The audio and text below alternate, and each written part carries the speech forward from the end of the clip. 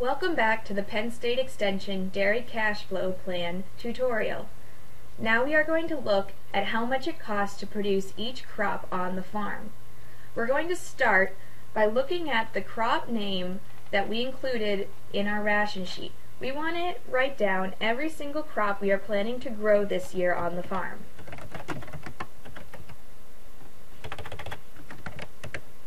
This includes crops that we are feeding to our animals as well as crops we might sell.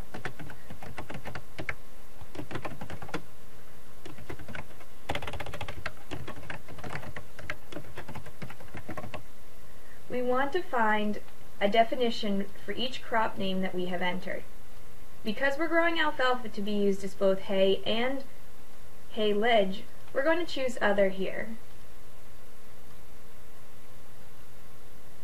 We want to find corn grain, soybeans. These are just a few of the general descriptions for each crop. Your crop may not be included here, and that's not a problem. Simply choose Other. Next we want to define if the crop is a double crop. We're going to select the secondary crop as a double crop and leave the primary crop blank. Now we want to include the total amount harvested for each crop during that growing season. For example, we will be growing 880 tons of corn silage. We want to enter the unit followed by the unit weight and then the number of acres we are cropping. In this case, we want to split out the acres that are owned versus the acres that are rented. We will be chopping a total of 40 acres of corn silage, 30 of which are owned and 10 of which are rented. For the alfalfa, we will be harvesting 450 total tons of alfalfa.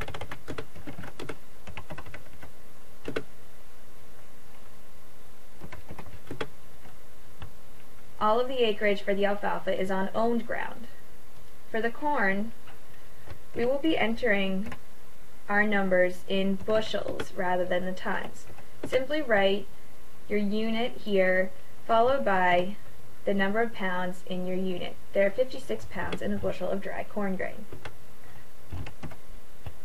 We will then fill in the rest of the information for our soybeans and our ryegrass. Soybeans as well have been entered in as bushels. Next, we can enter the input costs for each crop in one of two ways. We can either enter the total for the crop in our seed, our fertilizer, chemicals, and custom hire here, or we can enter it on a per acre basis. Entering it on a per acre basis allows us to change the cropping plan and the number of acres we are going to produce with each crop and the num and the seed and our input costs will adjust accordingly. If we were to enter the total for the crop, that total would remain the same regardless of how many acres we plant. Here we want to enter the input cost per acre for each crop.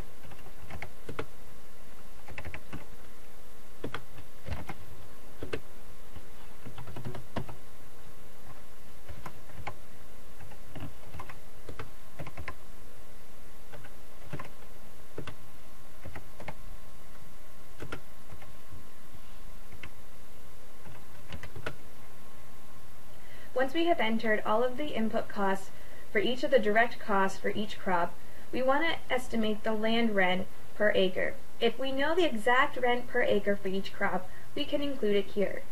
However, if we only know the total rent, we can use this land rent estimator on the right to help us figure this out. We know that the total land rent paid per year is $21,100. Next, we look at the total number of acres. The acres are split between the total number of acres farmed and the total number of acres harvested. Because we have a double crop in the soybeans, we have two different amounts here. There are a total of 80 rented acres on the farm, but 30 of that have been double cropped, and so the total amount of harvested acres are 110 versus 80. We can do this both ways. We can include the rent at 80 acres and not include any land rent for soybeans. However, this would artificially make the cost for the soybeans cheaper than what the land rent is. In this case, we are going to use the land rent for 110 acres, which is 191 and 82 cents. we are only going to put the land rent on areas where we have rented land. For example, we are using all owned land to harvest the alfalfa.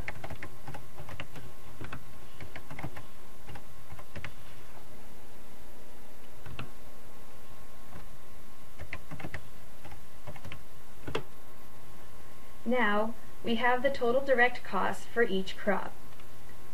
We can look at this in one of two ways. We can look at the total seed costs for the entire farm for a year, in this case, 15,865.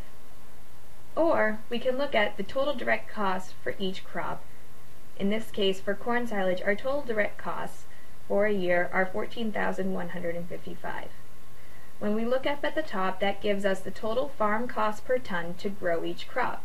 Remember that this is on a per ton basis, whereas the amount harvested could be in a bushel basis or other form of measurement. For our corn silage, it currently costs us $16.08 to grow a ton of corn silage when we just look at the direct costs. However, we cannot simply look at direct costs. We also have to look at the overhead expenses that contribute to the cost of growing these crops. Before we head on to that, we want to enter the labor hours for each crop here in this row. There is a handy table for determining how many labor hours are spent on each crop that was developed by Iowa State. You can use this table to come over and determine how many la labor hours per crop we usually spend. This will help to determine the breakdown on how much time an owner-operator spends on the cropping enterprise versus the dairy enterprise. We will go through and enter in the labor hours. Remember, for crops that have multiple cuttings, such as alfalfa or grass hay, we want to include labor hours for the total number of cuttings. If for alfalfa silage, we are chopping the silage in five different cuttings, the labor hours will be 2 hours per cutting, or 10 hours total.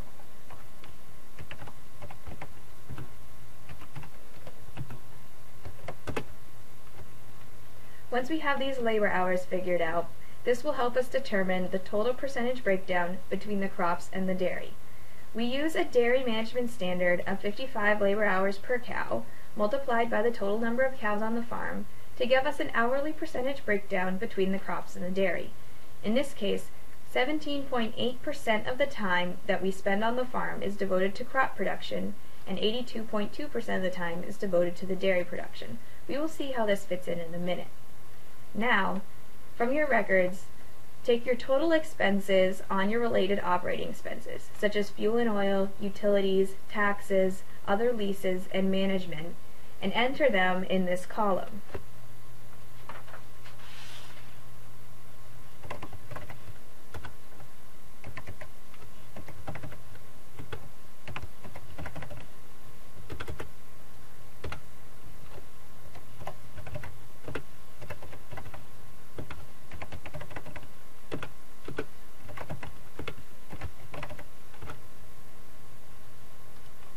Once we have entered all of these information in, we will go through and apply the percentage of the crops in our time in this column. This helps us start to determine the percentage of time that we use on the cropping side or the percentage of the overhead expense that needs to be allocated to the crops. In this case, of the total of $7,500 a year that this farm spends on fuel and oil, 1,335 of that will be devoted to the cropping enterprise. You can adjust this percentage based on how your farm actually fits. For example, if the hired labor that you are spending on the farm is only devoted to the dairy and you do all of the cropping enterprise yourself, this percentage would be zero. However, for example, we will go through and use our standard 17.8 for all of the expenses. One key to remember in this program is that you can only type into areas that are shaded in yellow. Before entering in these numbers, I had an error come up on my screen, which implied that I was not able to enter anything into one of these clear markers. This error means that it is protecting you from entering anything where a formula has been entered. We would also like to know what the family living expenses or ORNR as well as your total loan payments per year in principal and interest are to help figure out the total cost on the dairy.